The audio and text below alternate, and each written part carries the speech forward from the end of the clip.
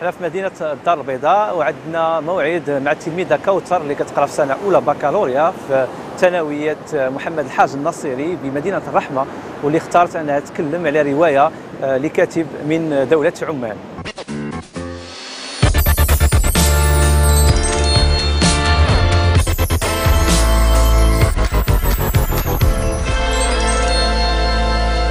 كوثر شنو كتاب لي اليوم اختاريتي أنك تقاسمي مع المشاهدين. صاريت كتاب ذاكرة الكورفيدا اللي كيعاود قصة ديال شخصيتين أساسيتين مرزوق وعثمان وهما. آه، وكل منهما يعاني مشاكل يعني مشاكل المجتمع.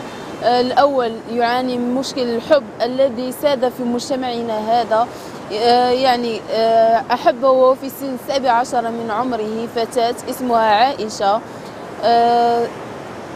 فتاة اسمها عائشة. إلى أن الأم الأم تبع تاعها لم لم تتح لها فرصة أن تعيش الحياة التي كانت تريدها وأنكحتها شخص لا تحبه هو سعيد بن سعيد بن مبروك.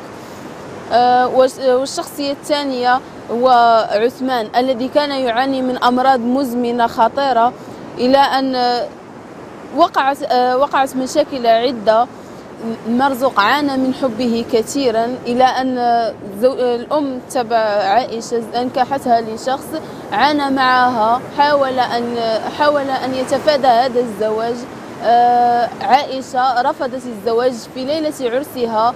آه، هربت من بيتهم إلى أن الزوج تبع زوجها آه، ذهب عند الوالي وأخبره بما بأنها هربت في ليلة عرسهم. اكتشفتي القراءة هذه السنة بفضل نادي القراءة اللي انت من خارطة فيه أشنو هو العمل اللي كتقوموا به في هذا النادي؟ هذا النادي كيتنظم يعني تقريبا ثلاث مرات في الأسبوع. آه، أول مرة دخلت ليه جا عندنا الأستاذ اللي كيقرينا هو كيقرينا يعني مسؤول عليه.